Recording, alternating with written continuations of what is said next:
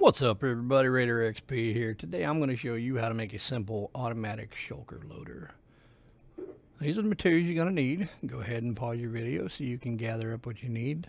This is a dispenser by the way, sorry. I'm using a Dwarven themed add-on to my game at the moment so things might look a little different for you. Alright, let's go ahead and get this thing done. First thing we're going to want to do we're going to want to place a double chest just like so. Come around behind and crouch down. Place you a hopper just like that. Now grab your block of choice. It can be anything at all. And place two sets, three sets of blocks too high, just like so.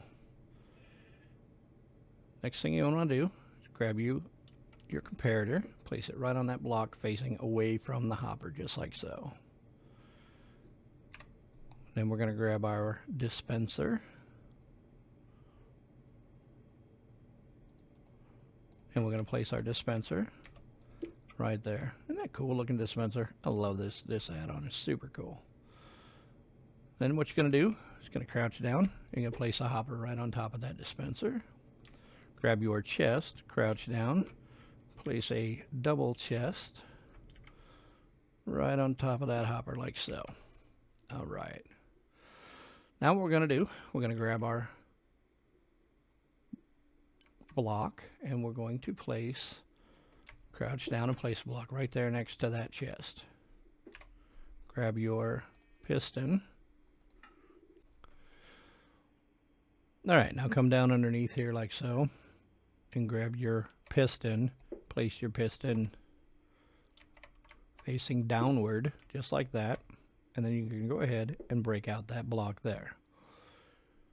Place a temporary block underneath that piston and grab your hoppers and place your hopper facing into that block. Now, as you can see here, I use an add-on called directional hoppers, and that shows me exactly which way my hopper is pointing, so I never get confused whatsoever. It's really handy little add-on.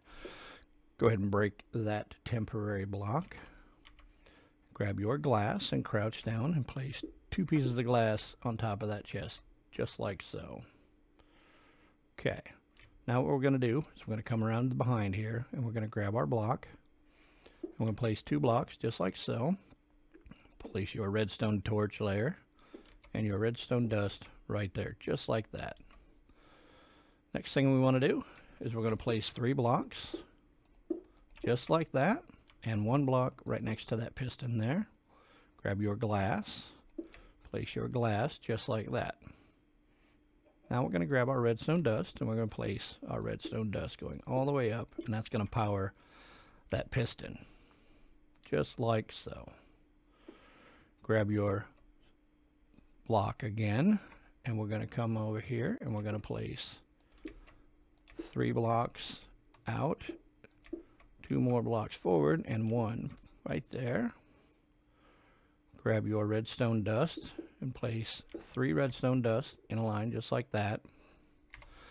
Then grab your redstone repeater, place that right there, and place that on four ticks all the way, just like you see. Then finish it off with your redstone, and that'll power the dispenser there. Grab your button, crouch down, and place your button right there on that dispenser just like so. And then lastly what we're going to do is we're going to come over here to this hopper, crouch down, and we're going to place a double chest right on top of that hopper. And that's pretty much how we're going to make this build. Next thing you want to do, grab you some shulkers. At this point in your game you probably have gotten quite a bit of them, or you've made yourself a shulker farm, which I plan on doing here in the near future as well. And we place those in that there, and they'll funnel down into that hopper, which will funnel down into the dispenser. Go ahead and grab whatever block it is you're you're wanting to, to add here. We're just going to use some spruce planks. You're just going to add all those into that chest there. All right, once you've got that done, what you're going to do, you're going to come over here and you're going to push that button. Now, when you push that dispense that button, that will dispense a shulker into place here, and it will start loading it up for you. Now, once it's full, the comparator will detect that it's full, and it will power the piston, causing the piston to break the shulker and dispense it down into your chest down below. So we'll go ahead and show you how that's going. As you can see here, that's starting to fill up. And as we'll come over to this one here and you can see we've already got one already. So we'll grab this one just to show you exactly. Look at there. Already full and you didn't have to mess with any of that stuff. Pretty slick, don't you think? I like it. I like it a lot. Pretty neat. This is how we make a simple automatic shulker loader for Minecraft Bedrock. Don't forget to like and subscribe. Check out all my videos. Bye now.